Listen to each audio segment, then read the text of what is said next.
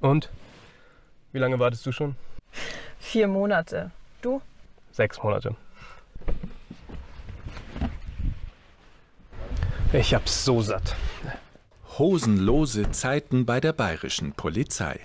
Man könnte meinen, es wäre ein Aprilscherz. Kein Scherz, sondern eine zotige Zukunftsvision der deutschen Polizeigewerkschaft. Denn die schöne neue Welt der Polizeibekleidung, auf Pressekonferenzen gerne glanzvoll präsentiert, hat im tristen Alltag erhebliche Lieferprobleme. Das heißt für uns, dass Kolleginnen und Kollegen mit einer nicht ähm, ansprechenden Uniform aktuell ausrücken müssen, teilweise auf ihre Ersatzstücke, ihre Ersatzuniformstücke über Monate warten.